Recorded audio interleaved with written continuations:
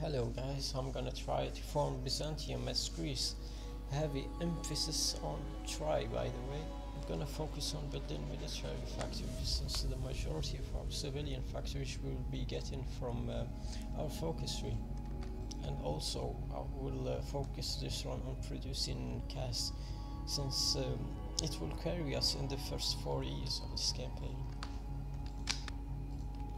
Also, uh, I need to place the king under house arrest so that I can go down the fascist path. In order to go down the fascist path as Byzantium, we will, once we reach the Anatolian ref refugee focus, we will have uh, two events pop up, one after another, and we need to pick the first option, which gives fascism support. And once we get to resurrect, resurrect the Megali idea, uh, we will only invite the allies, i.e., France and England, which will lead to the focus to get cancelled since no one will attend the conference. And the fascists then will finally launch a coup which will allow us to form Byzantium, once we have uh, conquered Turkey, that is. Also, we won't be paying any of our debts since uh, we can just simply default on them once we are at war. That's why we're gonna go down the left path of our economic fo focus tree. Make sure to pick a chief of air force and a chief of army for the daily XP gain.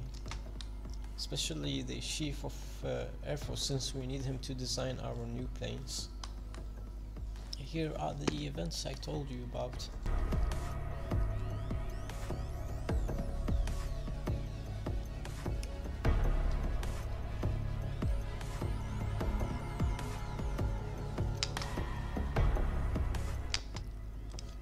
Make sure to befriend the communists and not crush them for the bonuses that they give you. I'm using these templates for my airplanes for the early part of this run.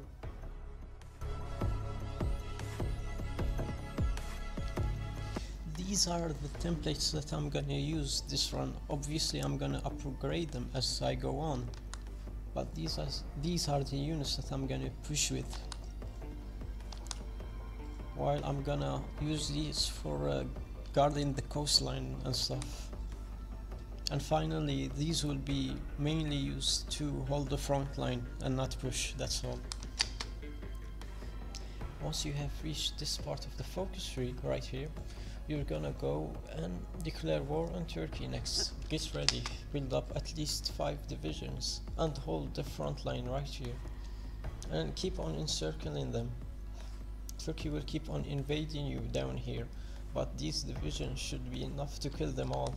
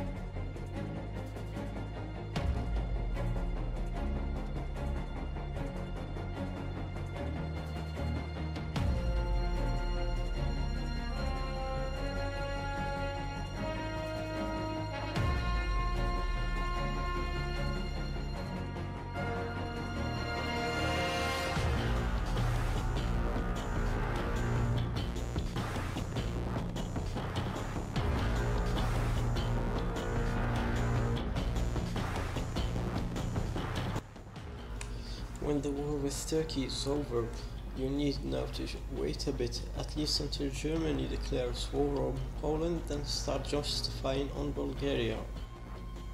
Because if you start right now, England may guarantee them.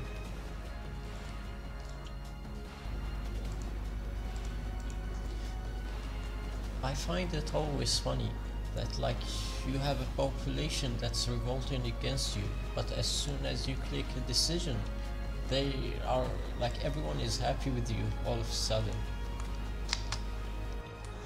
Once you're at war with Bulgaria, avoid reaching the Romanian front because if you do then Romania will start pushing you from there and it's gonna be annoying.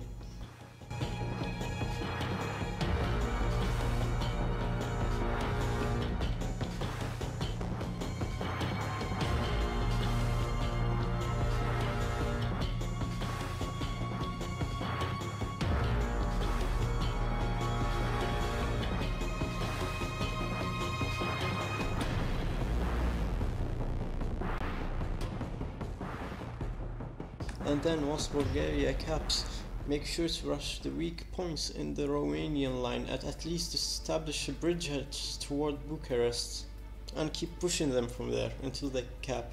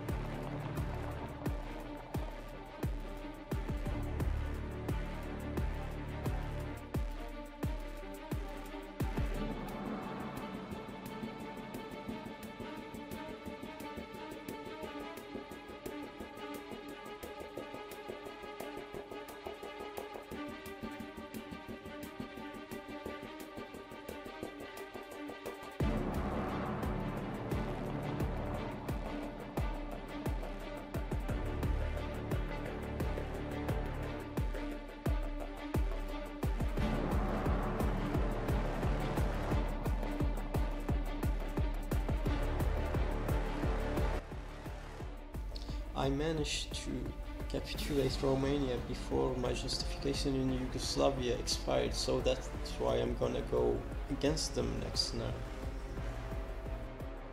Before they pick any guarantees from the allies, that is.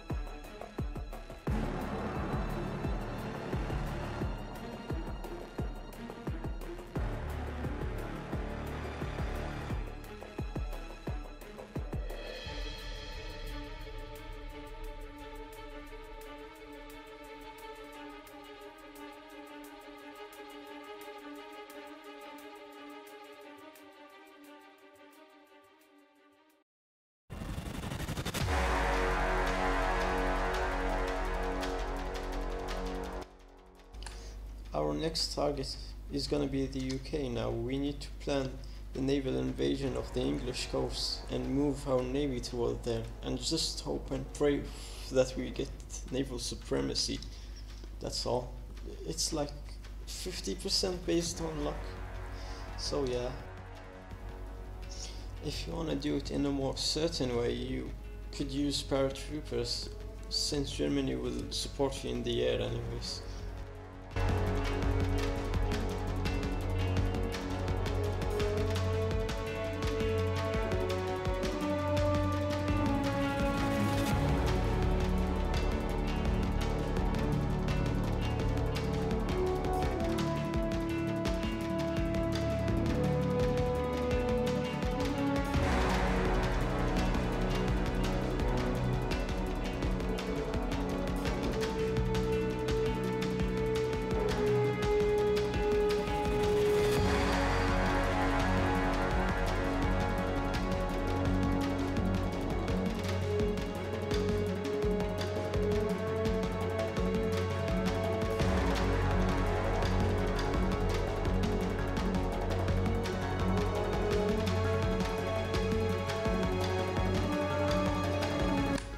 That the allies won't be an issue, I'm just gonna clean up the borders a bit.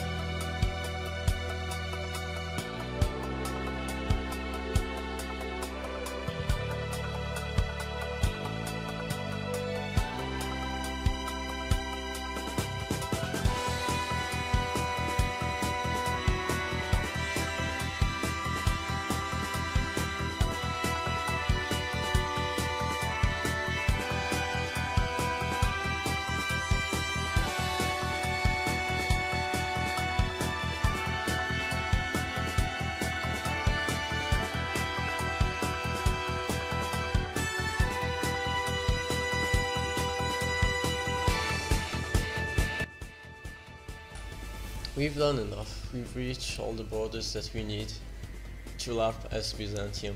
But if you want, you still can go to war with the Axis.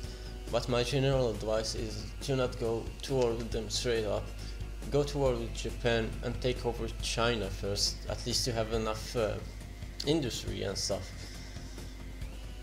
Because in this run I tried to go to war with them instantly and I managed to take capitulate Italy very quickly and almost pushed out Hungary, but the Germans beat me in the air war, so I couldn't do anything against them. Since their economy is at least twice my size, I and they had three times the amount of, of planes that I had. So, I mean, like at the end of the day, it's the end of the day, and uh, there is nothing much that I could do.